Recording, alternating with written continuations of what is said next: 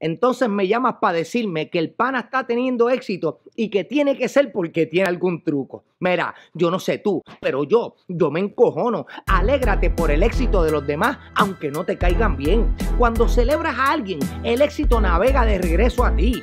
Sé feliz cuando los otros progresen y no te interpongas en el camino de nadie. Tienes que ser la persona que ora por ellos y les da ánimo. Sé constructor y no destructor. Sé quien inspire y motive a otros a ser relevantes y exitosos en la vida. Construyete para construir a otros. Si no lo haces, ¿qué vas a ofrecer? No puedes dar de lo que no tienes. Concéntrate en ti y haz lo que agregue valor y le agregue también valor a los demás.